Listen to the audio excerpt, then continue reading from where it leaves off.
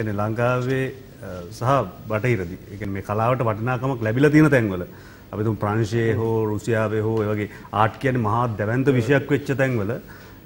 සාමාන්‍ය රශයන් බැලයක බැලේකෙදී චීෆ් කෙස්ට දිර ජනාධිපති හෝ අගම තියනකොට ඊට හැපැත සිට් එක තමයි බැල්රීනට තියන්නේ. එතකොට ඒකන ආටිස්ට තියන්න ඊළඟ සිට් එක. ඉතරින් එතරින් එහට පිටිපස්ස තම ඔක්කෝ දේශපාලක්ඥය අනිත්‍යවුන් ඉන්නේ ඉතින් ඒ තරම් ඩිසිපලින් එහෙම නැත්තම් අපි අටයි තියට පටන් ගන්නවා අටයි තිස්සකට දොරවහන එක එක ෂෝයකදී රශයන් අගමැති විනාඩි ගාන පරක්වල එයත් එළි ඉඳලා එක වෙනකම්. ගේට්ටු වරින්ටක ඒ තරම් ඩිසිප්ලින් එලි එලි ඩිසිප්ලින් එක හැදෙන්නේ කියන්නේ ප්‍රාග්ධනය යොදවන්නේ එහෙ බුරුෂුව ක්ලාස් එක. ඒ කියන්නේ විශාල ධනස්කන්ධයක් නිෂ්පාදනය සඳහා යොදවලා ඒකේ අතිරික්තය තමයි කලාව විදිහට යොදවන්නේ. අපේ රටේ නම් නාට්‍ය සාමය ඔක්කොම කරන්නේ බුරුසුවක්වත් නැති. ඒක තමයි. ප්‍රශ්නේ තියෙන්නේ ඒක.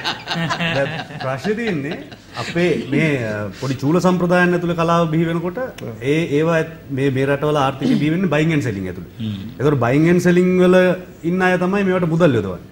එතකොට ඒ මුදල අර නිෂ්පාදන ආර්ථිකයක මුදල් යොදවන කෙනා තරම් දියුණු මනසකින් නෙමෙයි මේගොල්ලෝ යොදවන්නේ. මේගොල්ලෝට සල්ලි. මෙහෙන් කලාවට සල්ලි යොදවලා මෙහෙන් සල්ලි ගන්නයි ඕන. ඉතින් ඒක නිසා තමයි යැපෙන්න යැපෙන්න. යැපෙන්න.